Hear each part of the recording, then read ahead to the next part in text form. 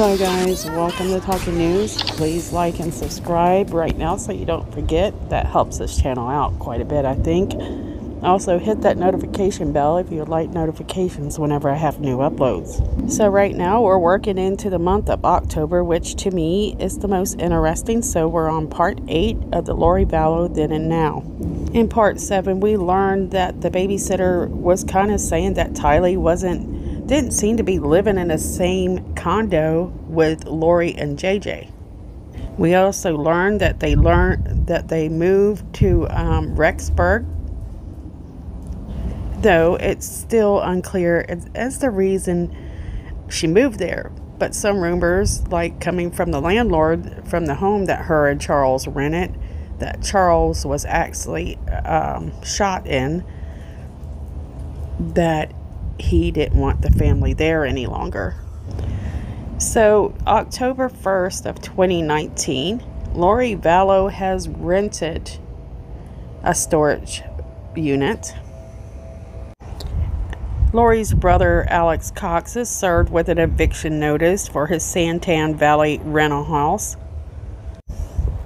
And we know that the rental, well, the storage rental that Lori is getting, it's about a 10 by 10 storage unit, and it's from Storage Plus in Rexburg. At the time, the storage place did have surveillance cameras but the footage that's been taken at the time, we wouldn't realize it until way later, and we'll talk about that later as well, that you really couldn't make out um, who the people were that were going to the storage unit with Lori at first. And there were approximately nine visits to the storage in the month of October, and one time in November, according to the you know, some of the information we have at this time. Of course, that can change as time goes along. Around this same time, which I find is very important, we're hearing that Chad Daybell increases the life insurance on his wife Tammy Daybell.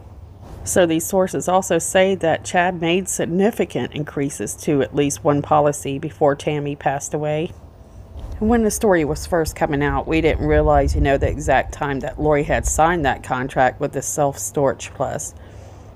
But we're finding out that she did sign that contract on October 1st. Now, I do want to give y'all a little bit more details on this storage. So it says between, it's approximately on October 1st, um, 208 to um, 2.32 p.m., Lori signs a $53 per month rental agreement with this um, Storage Plus. And Lori does visit this unit alone on October 1st, and that's the only time that she's alone at that storage unit. So at the time, she's driving a blue Nissan Rogue. Lori is seen removing a heavy tote from her car and placing it into the unit after she signs the contract. On October 2nd, this is where things really get interesting. At the time when the story come out, we didn't know anything about this, but we're going to go ahead and throw it in as if we did.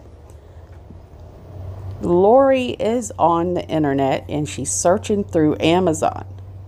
There, there is proof that she purchased a ring size 4 that is sterling silver. It's not just any ring. In fact, it's it's a malachite gemstone.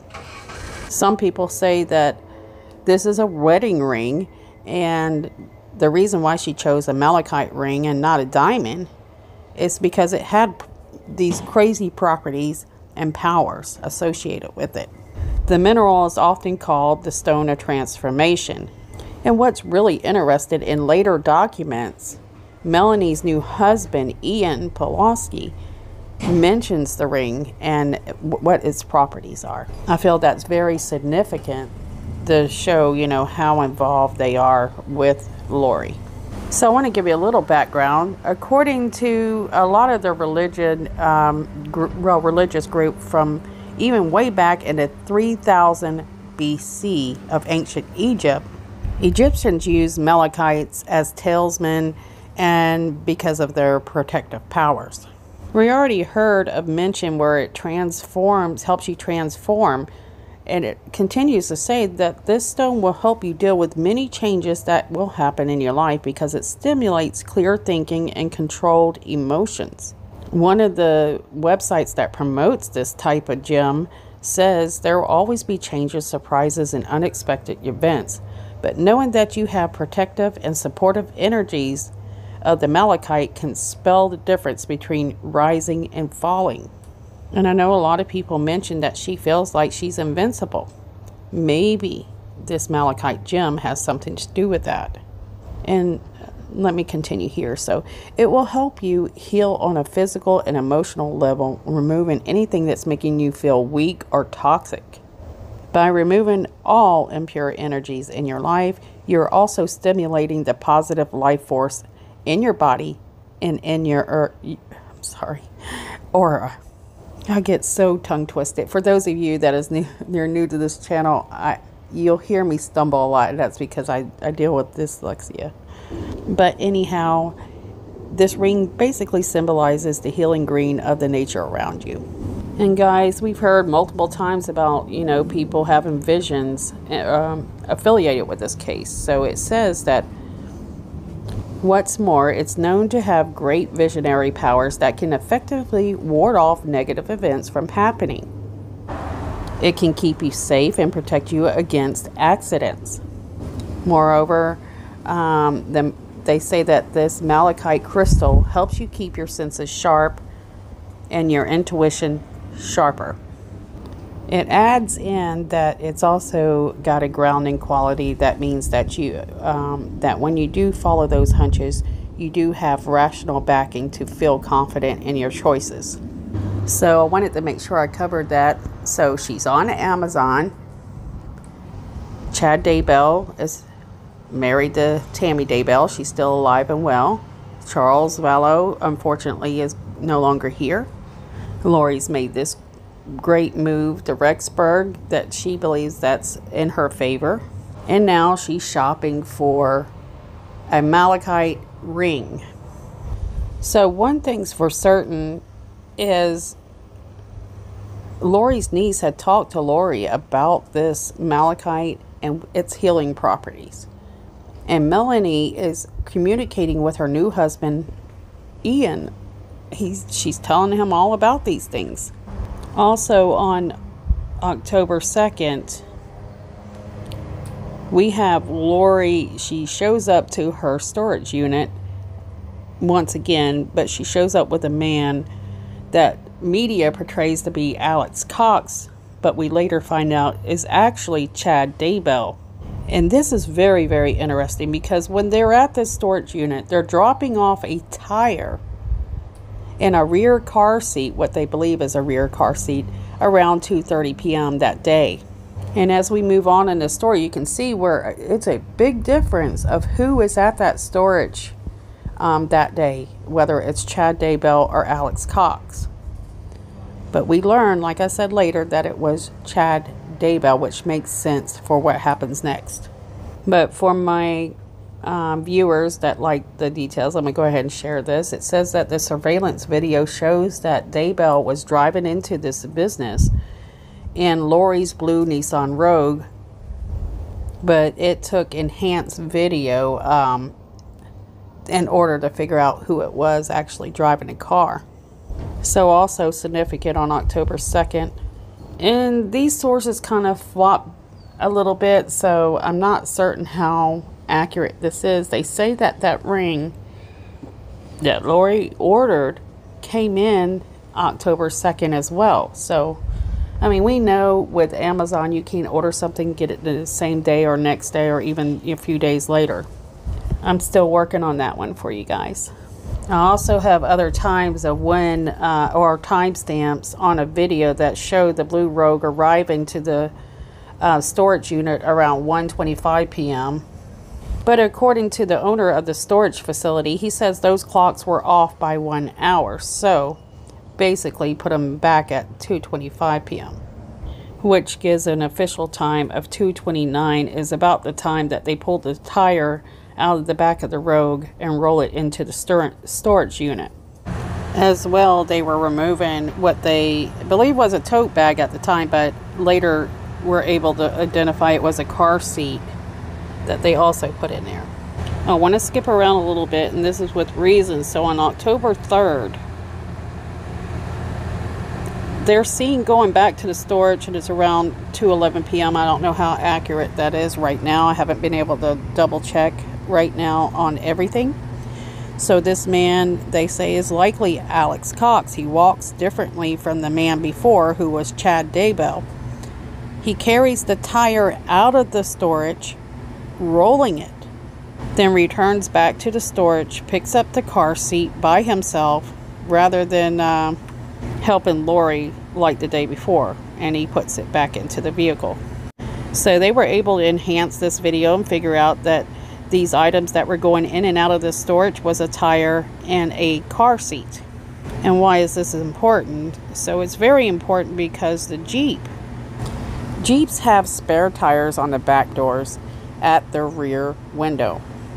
Most of them anyhow as long as that tire is attached to that rear window, according to invest, uh, investigators, they say that the back window will not open if that tire is still attached.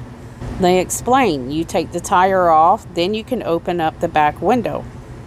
They believe that this tire and this car seat that was put into the storage that day is possibly the um, parts of the Jeep, which once belonged to Charles Vallow, who is no longer here now, is to the Jeep that Tylee drives, that Alex is seen driving in October. So, once again, a reminder this is on October 3rd that uh, Alex is, is seen putting the tire and the car seat back into a vehicle. So, we're going back to October 2nd. So, Brandon Boudreaux, which is Lori's niece's husband. It's October 2nd. He's in his Gilbert, Arizona home, or at, sorry guys. And a bullet narrowly misses Brandon and shatters the driver's side window of his Tesla. Now, this is a key word paintball gun, guys. So, at first, Brandon thought that the shooter was using a paintball gun due to the sound that it made, but when he examines his car, he sees that bullet hole and realizes that this is a real gun, most likely with a silencer. Some sources say, though, that he didn't see anything, and then some sources say that he did recognize this vehicle the shooter was in, and the vehicle was matching the description of Tylee's Jeep, which was formerly Charles Vallow's Jeep. Some say um, not been able to really update this, guys. It's really hard to keep up. I'm trying to get this finished, but um, some sources say that Brandon's the one that called 911, and some sources say it's Brandon's father. Regardless, Brandon was um, headed to the gym or coming back from the gym. The dispatcher from 911 asked him, "Did you see the guy that was actually?" And Brandon says, "quote I didn't see who it was." End quote most of this um, ca- the call to the 911 was redacted but uh, it's unclear you know whether he knew who it was or not because sometimes in interviews brandon suspects that it was alex cox driving. Brandon said that he knew charles vallow well and knew all about um, the shooting with alex cox with charles vallow and that was back in july now, some people, like Melanie, were saying that uh, Brandon was making this up, but they actually caught on CCTV, and it was later confirmed to be registered to the late Charles Vallow. So, most likely, it was Alex Cox driving that Jeep. Needless to say, that this was so devastating to Brandon that he and his four children went into hiding. So there's a few more um, details I want to add. They say that the Jeep was parked just outside of Brandon's house waiting for him, which fired a single rifle shot. Some sources say that Alex didn't take off immediately, or whoever they believe it to be that was in that Jeep. Um, but in some sources, they said that he fired the shot and then took off fleeing the scene. Now, I'm not sure if I got this correct, but at some point in this time, Brandon claimed that, you know, Melanie had knowledge of where Tylee and JJ were. I, I'm not certain where that fits on or if it's even true. But one thing's for certain that on October 3rd, Lori Vallow is on her computer. Now, she already ordered a, a wedding ring, and now she's searching for a wedding dress. And we'll actually go into more details in the future about this. Just a day later, it's October 4th of 2019, and Tammy Daybell is visiting her parents in Springville, Utah.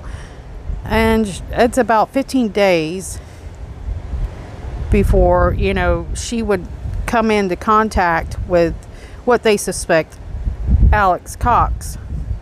In the interview that talks about where Tammy was um, on October 4th, it's also said that she was healthy and doing Zumba and clogging class, and this is according to her father. Also, on October 4th, a judgment is entered in Santan Valley. Um, it's an eviction case against Alex. Now, I'm not positive on this, but I do have it noted, so I'll share it just in case. Just know that this is a, you know, iffy note that I'm putting in here. So, sometime between October 6th, uh, October 26th, a man people believe to be Alex Cox visits Lori's Rexburg storage unit alone five times. He drops off a variety of item items, including gun cases. So, this is an absolute fact, that's quite interesting. You can find that on East Idaho News. And then here we have October 6th of 2019. It's 1:42 to 1:50 p.m. I'm not certain if this clock is behind or not, but a man visits Lori's storage unit alone and and a pickup truck belonging to Alex, he takes something out of the unit, and that's according to Dateline. October 7th um, of 2019, they realize that Lori is still using Charles Vallow's Amazon account and other, th- you know, things. I'm not certain what they are right now. Now, October 7th, a screenshot shows up online.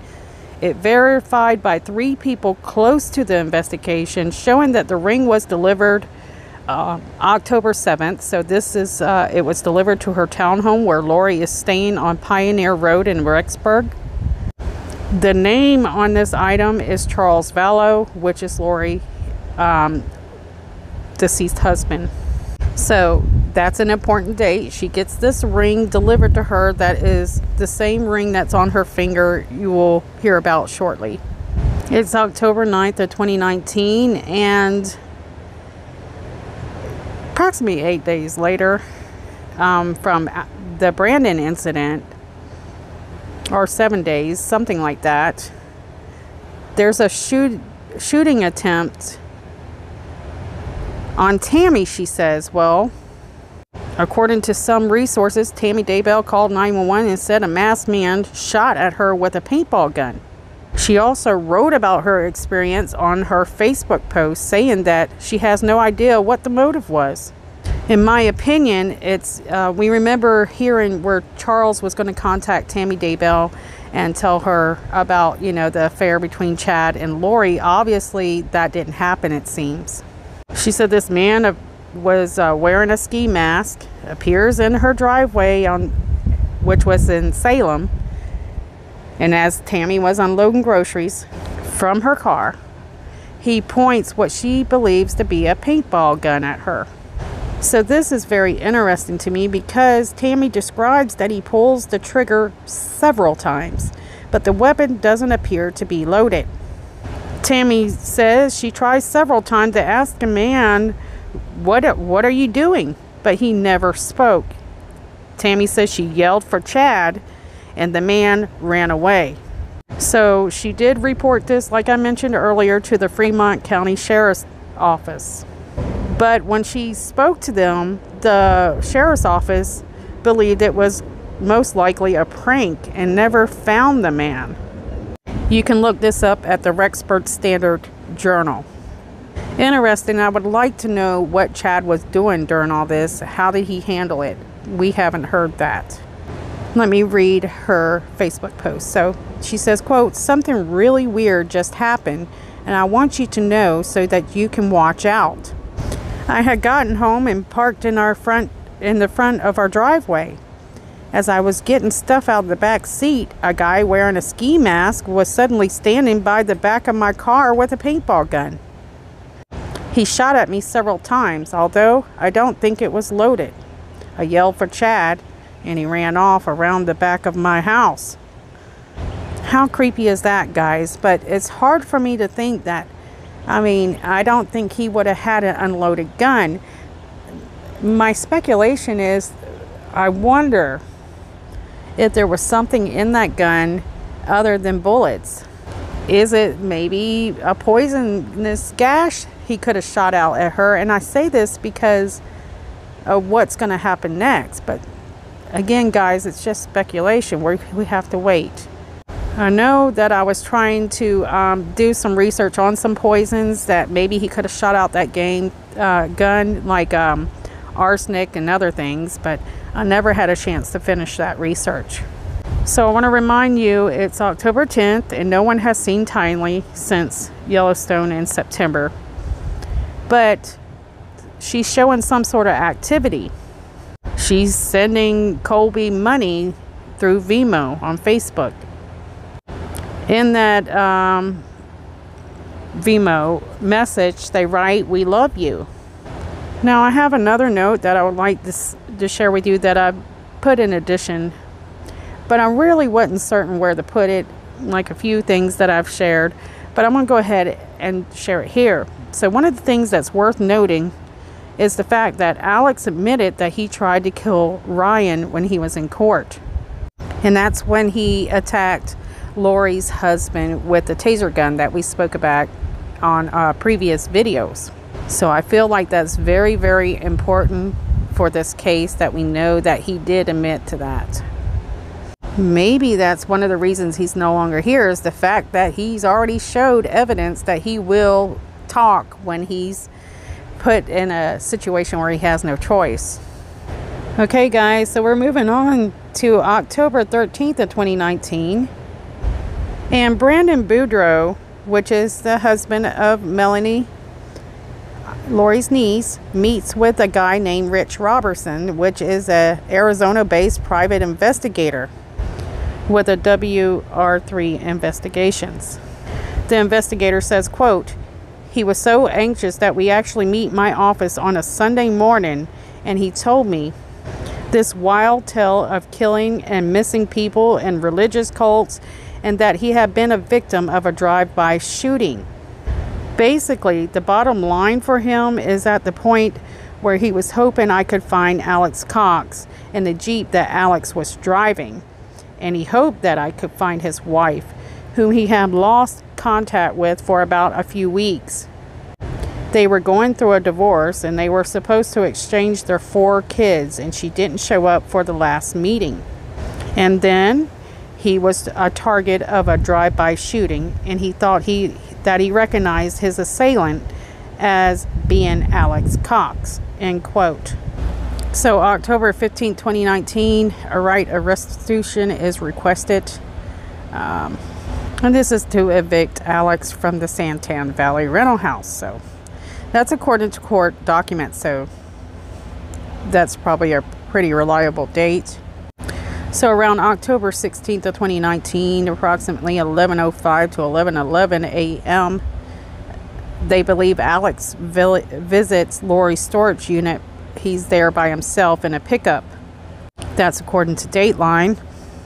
October 16th as well, at around 1:43 p.m. Uh, Tylee's uh, sending something through Venmo again. So October 19th, 2019, approximately 10:21 p.m. Tylee's um, friend sends Tylee a text to say that she misses her and that she's been thinking about her, but she didn't get a reply until six days later. And that's according to the Post Register. But the most significant thing that happened on October 19th of 2019 was Tammy Daybell, Bell, sorry guys, went to bed the night before with the symptoms of coughing she was at uh, she was only 49, and according to the Rexburg Police Department, they got a call saying that um, Tammy Daybell had passed away in her bed through the night. This was devastating to Tammy's family because a lot of people and her friends said that she seemed very healthy, and her father, Ron Douglas, saw her two weeks earlier saying that she was in good condition. Tammy's father said that he was grief stricken when Chad called him after Tammy died, saying that she had gone to bed the night before with a terrible cough, but just never woke up. So the key thing is, is on October 18th, Tammy goes to bed. She has a coughing fit. She says she doesn't feel well. But her family says she's never really been an unhealthy person. So I would like to share the address where this happened. So she was found deceased by her family members at her home at 202 North 1900 East Rexburg, Salem, um, Idaho. When the officers, the Fremont County officers, go to the Salem home in response to a call about her death, now they have this coroner that arrives. Her name is Brenda Dye. Now remember, guys, we've seen things on her where they said that she doesn't even have a high school diploma, is what I'm hearing. Haven't been able to finish that research either. But she shows up to their home and examines the body. When they take Tammy from that residence, they decide to say that there will be no autopsy performed. Brenda Dye writes on the death certificate, death certificate that the death is related to natural causes and decided that Tammy didn't need this autopsy. So an investigator said when he went out there, and he quotes, My deputies responded, and as we do with most unattended, unattended deaths, they took pictures. They looked it over and contacted our detectives. Humphries continues and says that the detectives had a few questions. They satisfied those, got the information they needed, and didn't see anything that alarmed them. End quote. He said that he asked if Chad Daybell was acting suspiciously, and Humphrey said the responding def- deputy said they didn't notice anything odd. Quote, To my knowledge, he was responding like anybody would whose spouse had just passed away. That's why the deputies did not suspect anything suspicious, end quote. But for some reason, what's odd to me is they didn't notice that 10 days prior to this that Tammy had called the police to report that a masked man had fired an empty paintball gun at her when she pulled into her driveway. So something is very odd. It just sounds like they weren't doing a very good job. That's my opinion, guys. Humphrey continues, says, quote, there wasn't anything there at the time that we could do, and everybody kind of summed it up as a prank, end quote. So they just couldn't put the two together, I guess. They just, they thought it was a prank, so therefore nothing was suspicious. So ultimately, Chad Daybell's lifelong wife, 49 year old Tammy Daybell, died mysteriously in Salem and she was buried in Springville, Utah. In her obituary, it claimed that she died of natural causes. And she was buried, I think it was October 22nd of 2019. There was a memorial service in Rexburg the following day, but the family, a lot of friends of the Daybells and stuff had some concerns about how they had service for Tammy. As well, in this uh, time period, Humphrey says that he's notified or alerted by detectives in Arizona about other deaths. This was exceptionally hard for Tammy's parents to accept because they said just early October, Tammy Daybell was dancing in their parents in her parents' living room. They explained that Tammy, who was a librarian, seemed in good spirits and good health. It just didn't seem right to them. I'll go into more details on her orbit as well as um, what friends seen because uh, some friends were concerned that this was kind of put together really fast and that when they attended the funeral that there wasn't even a casket present and there's a problem because right after Tammy passes away, Chad Daybell collects 430,000 from Tammy's life insurance policy. And so this is according to the affidavit of probable cause. On October 21st through the 24th of 2019, um, the Idaho school where Tammy was a librarian holds a book donation. Oops, sorry guys, lost my spot. A book dono- donation drive in her memory and makes a remembrance corner in the library to help the children remember her. So this is at Central Elementary Book Fair. Like promised, October 22nd, funeral services are held in Utah, and Tammy Daybell is buried. Again, you already know this at Springfield, Utah. So, on October 24th of 2019, Chad moves out of his Salem, Idaho house, which he shared with Tammy um, and his two adult children. He told his kids that he wanted to sell his house and the book publishing business um, that he and Tammy had built um, back in 2004. But according to some sources, the children talked him out of that one. On October 25th of 2019, approximately 11:14 a.m., Tylee's um, friend receives a reply to her October 19th text saying, "Hi, miss you guys too. Love you." The friend says that that really didn't sound anything like Tylee. The friend said, quote,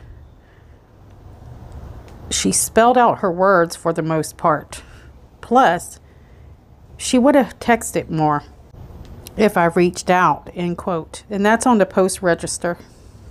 So on October 25th of 2019, around 12:48 to 12:47 p.m., a man visits Lori's storage unit alone in a pickup truck, which is belongs to Alex Cox they're able to make out that he takes something out of that unit. Um, but at that time, I think when this first happened, I think they might have figured out it could have been Chad Daybell. I don't know. I need to update this a little bit. October 26th of 2019, the Run for Refugee uh, 5K that Tammy Daybell had planned to be part of, well, she isn't. On October 26, approximately 5:07 to 5:17 p.m., a man visits Lori's storage unit alone in a pickup truck belonging to Alex, and he puts something into the unit. And this is according to Dateline. October 28, 2019, approximately 2 o'clock to 2:06 p.m., two men are seen driving Alex's pickup truck, and they're seen on a CCTV at Lori Rexburg's uh, storage unit. They're seen moving bikes into the unit. They also take items out of that unit. They identified these two later as Chad and Alex. And so this is really literally just a few days after Tammy's funeral, guys. So October 29th of 2019, a neighbor's ring doorbell captures footage of Lori still living in the, on uh, Pioneer Road. They also captured an unidentified woman coming to visit her. So late in October 2019, Tylee's brother, uh, Colby Ryan, notices that Tylee's texts to him have become less frequent and they have changed. Just like Tylee's friend, he says that the texts didn't sound like Tylee and were not written the way that she normally would reply. So October 31st of 2019, it's Halloween, and the nanny that was hired through uh, somethingcare.com. I'm sorry, guys, I didn't get it all. Um, in September, again texts Lori to ask if her services are needed for JJ. There was no response. This is according to AZ Family. So October 31st to around November 1st of 2019, the private investigator hired by Brandon Boudreaux observes Alex and Melanie um, load up a U-Haul outside of Melanie's Chandler Chandler home and discard the children's items out on the curb. Now, these dates I'm not positive about, but I'm assuming that these are probably the most likely dates that this happened. The private investigator said, quote, it's all kid stuff. It was clothing, it was like blankets, it was toys, mattresses, bedding materials. And they were out on the curb, sorry guys, lost my spot a little bit, with a little cardboard sign that said free. The investigator says that he tracked Melanie to Rexburg, not Boise. Quote, we saw them loading a U-Haul they rented in Arizona and took it to Rexburg. And we saw where they were living, but uh, didn't see the kids, end quote. Alrighty, guys. Well, I about hit my limit here. And we will continue this on part 9. So I'm wishing you guys um, to be safe out there. Stay healthy. Love you guys, and I'll see you guys soon.